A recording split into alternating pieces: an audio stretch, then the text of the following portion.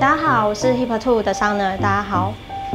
建议男生呢，你们可以喷一点点水，那或是有多一点点的时间，你可以把头整个打湿之后再做造型。像慕斯类啊，或水釉的东西，这种都是属于打底类的。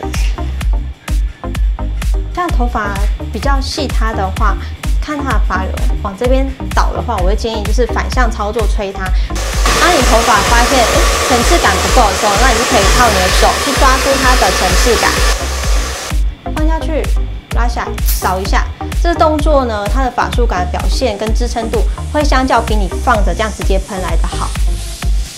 这样就成为一个，其实你可以每天早上很轻松，就可以很帅气出门，又很自然的一个发型。